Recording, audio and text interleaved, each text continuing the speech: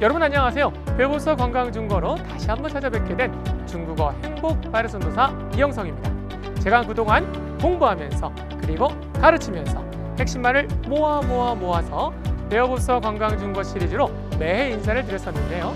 그 시리즈를 특징별로 알려드릴 테니까요. 자신의 수준에 맞게 그리고 자신이 필요한 내용에 해당하는 영상을 찾아 찾아 찾아서 공부해 보시면 아주 유용하게 활용하실 수 있을 겁니다.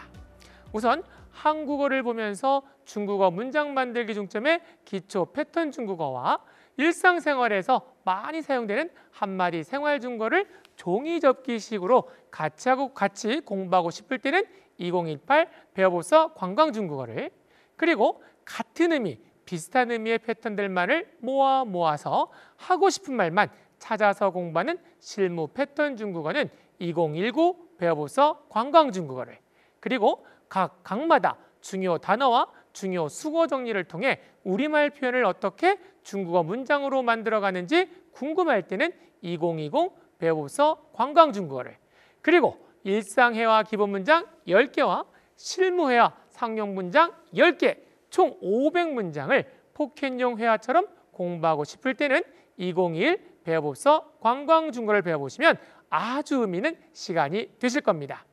이렇게 기존의 방송을 특징별로 저 나름대로 의미 있게 잘 정리해 봤으니까요. 여러분 수준에 맞게 여러분 필요한 표현을 찾아서 여러분만의 정리를 하시면서 공부하시면 꼭 분명 반드시 도움이 되실 겁니다. 자, 그럼 올해도 재미있고 유익한 중국어의 세계로 여러분을 다시 한번 자신 있게 초대합니다.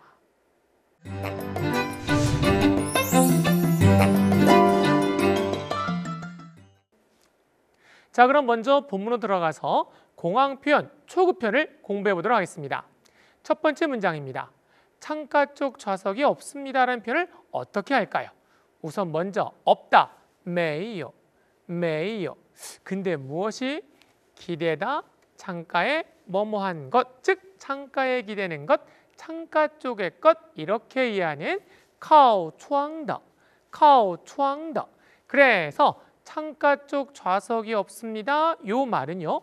없다, 기대다, 창가에 뭐뭐한 것, 즉 창가 쪽에 기대는 것이 없다. 이렇게 이해해서 没有 靠窗的 没有 靠窗的 이렇게 단어를 딱딱 붙여가면서 많고 다양한 표현을 만들어 보는 게 정말 정말 중요한 회화 공부법일 겁니다. 자, 이어지는 문장입니다. 앞에 표현을 응용해서요. 통로 쪽 좌석이 없습니다. 라는 표현 어떻게 할까요? 우선 없다, 메이요, 메이요. 근데 무엇이? 기대다, 걷다, 길, 뭐뭐한 것. 즉, 걸어 다니는 길에 기대다. 즉, 통로 쪽의 것. 이렇게 이해하는 카오조 따오다, 카오조 따오다. 그래서 통로 쪽 좌석이 없습니다. 이 말은요. 없다, 기대다, 걷다, 길, 뭐뭐한 것 이러한 구조인 걸어 다니는 길에 기대는 것이 없다. 이렇게 해서 말하는 메이요 카오조 따오다. 메이요 카오조 따오다. 그래서 뭐뭇이 없습니다란 말은요. 없다 뭐 이러한 구조인 메이요 명사, 메이요 명사 이렇게 패턴으로 딱 기억해서 외워두시면 요긴하게 사용할 수 있겠죠.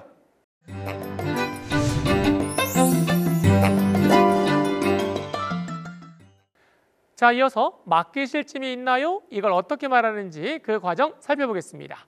자, 먼저 있다, 요, 요. 근데 무엇이 붙이다, 운반하다. 즉 붙여서 운반하다, 토윤, 토윤.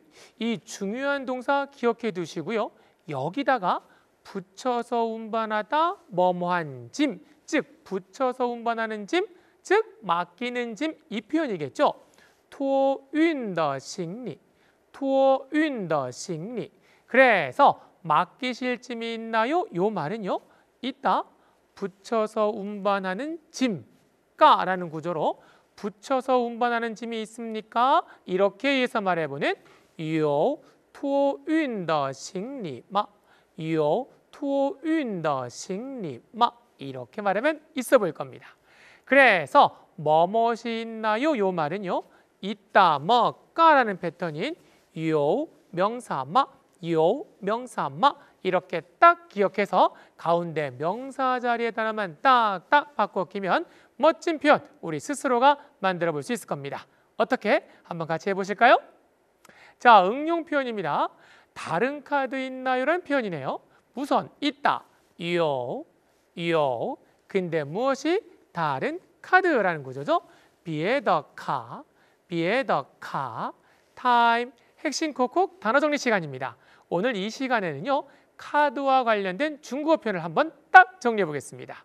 1번 신용카드입니다. 신용카, 신용카. 2번 마일리지 포인트 카드를 의미하죠. 이 말은 점수를 쌓는 카드 이렇게 이해하는 찌펀카, 찌펀카. 3번 할인 카드, 우대 카드란 말은요. 혜택 카드 이렇게 이해하는 요회카, 요회카 이렇게 딱 정리해야 영석 스타일. 그래서 다른 카드 있나요? 요 말은요. 있다. 다른 카드가 즉 다른 카드 있습니까? 이렇게 이해하는 요 비에 더 카마 요 비에 더 카마 이렇게 말하면 있어 보일 겁니다. 자, 이어서 또 다른 표현 한번 공부해 보겠습니다. 우리가 신분을 확인하는 과정에서요. 손님에게 저에게 뭐뭇을 좀 보여주세요라고 말할 때 많이 쓰이는 표현이죠. 우선 저에게 신분증을 좀 보여주세요라는 표현 어떻게 말하는지 딱딱 힘차게 만들어 보겠습니다. 우선 보다 칸, 칸, 좀 보여주다 동사를 두 번 중첩해야겠죠? 칸, 칸, 칸, 칸. 그래서 누구누구에게 나, 저, 나에게, 저에게란 구조입니다. 게이워, 게이워. 이걸 딱 합쳐서 나에게 좀 보여주더란 말을요. 게이워, 칸, 칸, 게이워, 칸, 칸. 근데 무엇을 이것만 딱 뒤에다 갖다 붙여서 저에게 신분증을 좀 보여주세요 문장 구조겠죠? 누구누구에게 나 좀 보여주다 신분증을 이러한 구조인 나에게 신분증을 좀 보여주다 이렇게 이해하는 给我看看身份证给我看看身份证 타임 핵심 콕콕 단어 정리 시간입니다. 오늘 이 시간에는요. 중요한 증, 증에 관련한 표현 한번 정리해 보겠습니다. 1번 신분증 한자 그대로 신분증이라 쓰고요. 身份证, 身份证 이렇게 말하기도 하고요. 신분을 증명하는 문서라 그래서요. 정젠, 정젠 이렇게 두 가지 표현 사용 가능합니다. 두 번째 여권이라는 말은요. 외국 나갔을 때 나 자신을 지켜주는 사진 이러한 단어 구조인 호照, 호照. 3번 비자라는 말은요. 신분 인증을 서명한 증서라 그래서 치엔증, 치엔증 이렇게 단어의 뜻을 이해하면서 차곡차곡 외워보시기 바랍니다. 이렇게 딱 정리해야 영석 스타일. 그래서 앞으로 우리가 저에게 뭐뭇을 좀 보여주세요란 말을 게이워 칸칸 주르륵 게이워 칸칸 주르륵 이렇게 패턴으로 딱 기억해서 뒤에다 단어만 딱딱 바꿔 끼면 멋진 표현 우리 스스로가 만들어 볼 수 있을 겁니다. 어떻게? 한번 같이 해보실까요? 자, 응용 표현입니다. 저에게 여권을 좀 보여주세요 표현이네요. 단어만 딱 바꿔보겠습니다. 보다, 칸, 칸, 좀 보여주다, 칸, 칸, 칸, 칸. 나에게, 저에게, 게이워, 게이워. 그래서 나에게 좀 보여주다는 문장 구조겠죠? 게이워, 칸, 칸, 게이워, 칸, 칸. 근데 무엇을 이것만 딱 뒤에다 갖다 붙여서 저에게 여권을 좀 보여주세요라는 말을요. 나에게 외국 나가서 지켜주는 사진 좀 보여주다 이렇게 이해하는 게이워 칸칸 후照 게이워 칸칸 후照 이렇게 말하면 됩니다.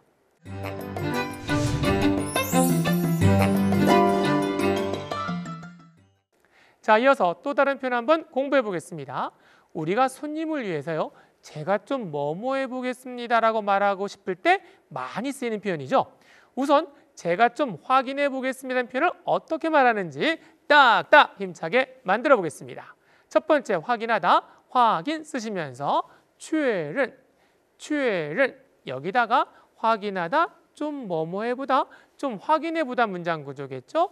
최른 이샤 최른 이샤 근데 누가 나, 저, 누구누구가 내가, 제가라는 표현이네요. 我来, 我来 그래서 제가 좀 확인해 보겠습니다 말은요. 내가, 제가 확인하다 좀 뭐뭐해 보다 즉 내가 좀 확인해 보다 이렇게 해서 말해보는 我来确认一下我来确认一下그래서 우리가 서비스 과정에서요. 제가 좀 뭐뭐 해보겠습니다. 요 말을 我来 동사 一下我来 동사 一下 이렇게 패턴으로 딱 기억해서 가운데 동사 자리에 하나만 딱딱 바꿔 끼면 멋진 표현 우리 스스로가 만들어 볼 수 있을 겁니다. 어떻게? 한번 같이 해보실까요? 자, 응용 표현입니다. 제가 좀 찾아보겠습니다는 표현이네요. 우선 자료를 찾다, 자, 자, 타임, 핵심 꼭꼭 단어 정리 시간입니다. 우리가 중국어를 공부하다 보면요. 찾다라는 단어가 이것 말고요. 다른 단어가 떠오르실 겁니다. 그럼 뭐가 다른지 한번 정리해 볼까요? 먼저 같은 찾다이지만 사람이나 사물을 찾을 때는 자오, 자오. 2번 같은 찾다이지만 자료나 사전을 찾아볼 때는 자, 자 이렇게 딱 정리해야 영석 스타일.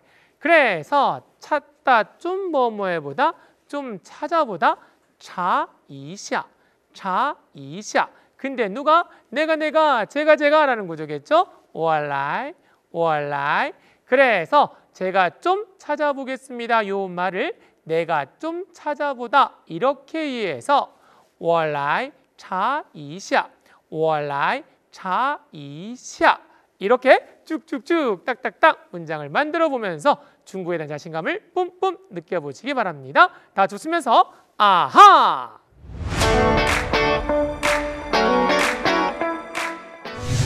자 그럼 이번에는 회화를 공부하면서 정말 정말 쓸모있고 꼭 알아야 하는 알짜배기 살아있는 생생어법을 이용성만의 방식으로 정리해 보겠습니다. 자 오늘 일곱 번째 정리할 내용은 바로 동태조사입니다. 자 동태조사를 공부해 보겠는데요. 먼저 중국의 특징, 형태 변화가 있다 없다? 없다. 그래서 뭐가 중요하다? 그렇죠. 위치가 중요한 언어입니다. 그럼 동태조사 역시 위치가 중요하겠죠. 왜?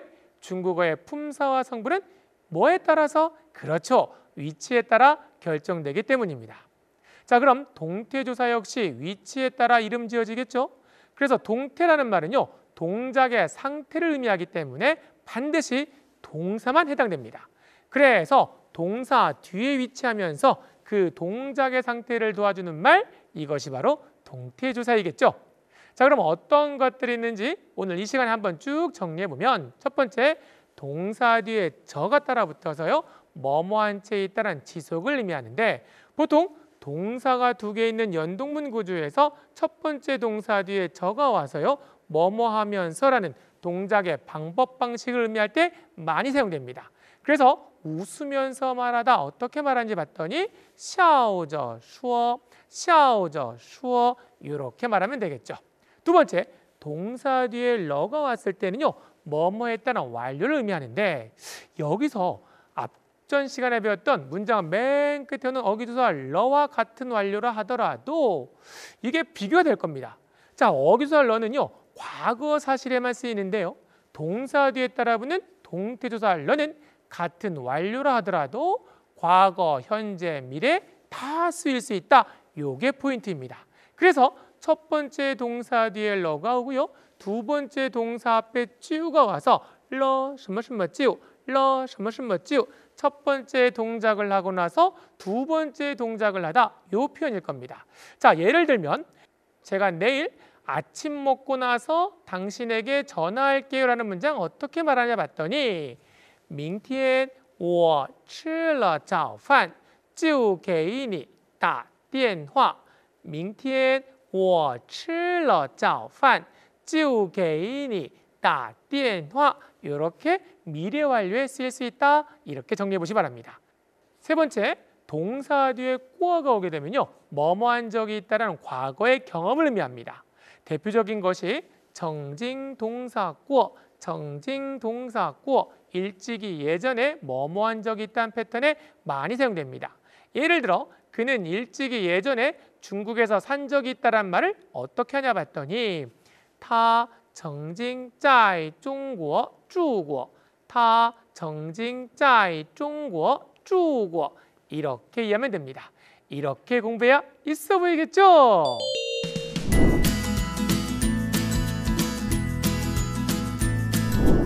자 이번 시간에는요 오늘 배운 내용들 중에서 이것만은 꼭 기억하자 핵심 꼭꼭 퀴즈 시간입니다 다음 질문에 알맞은 답을 5초 안에 자신 있게 딱 찍어보시기 바랍니다 자 시작합니다 1. 카드와 관련된 단어 중에서 포인트 카드를 뜻하는 단어는 무엇일까요? 1. 신용카 2. 지펑카 3. 요회카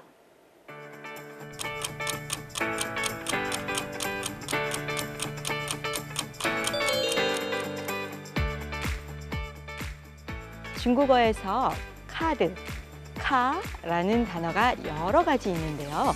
다시 한번 딱 정리해 보면 1번 신용카드, 信用卡 2번 마일리지 포인트 카드, 즉 점수를 쌓는 카드, 积分卡 3번 할인 카드, 우대 카드, 즉 혜택 카드, 요회카 이렇게 딱 구분하시면서 외워보세요.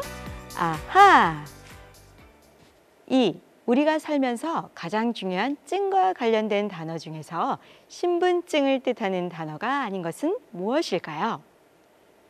1번 션펀정 2번 후자오 3번 정지엔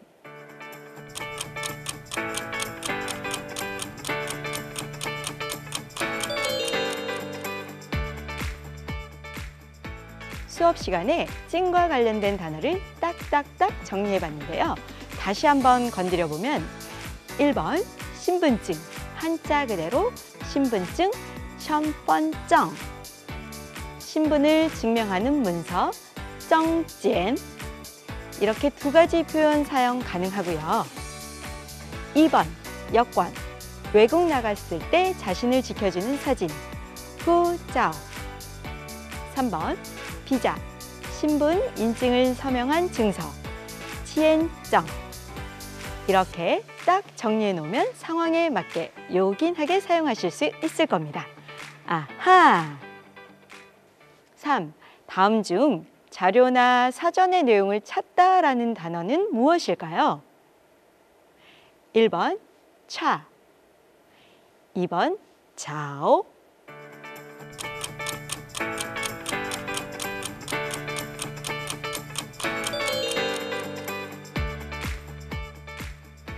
우리말로는 같은 찾다이지만 1번 사람이나 사물을 찾을 때는 자오 2번 자료나 사전을 찾아볼 때는 차 이렇게 비교하면서 외워야 오래오래 기억할 수 있겠죠? 아하! 4. 다음 제시된 단어 중에서 동사 뒤에 붙어서 그 동작의 상태를 나타내는 동태조사로 쓰이지 않는 단어는 무엇일까요? 1번 저, 2번 꾸어, 3번 마.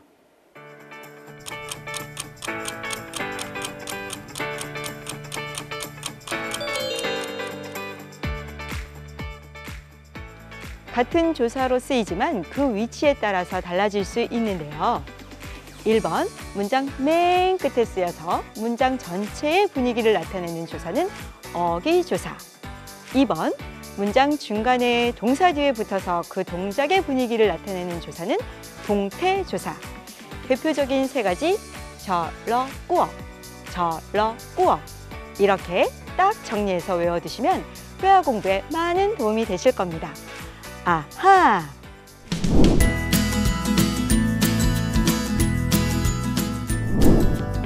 자 어떠셨나요? 오늘 여러분과 함께 핵심말을 콕콕 들여봤는데요. 오늘의 한마디 툭 던져놓고 물러갈까 합니다.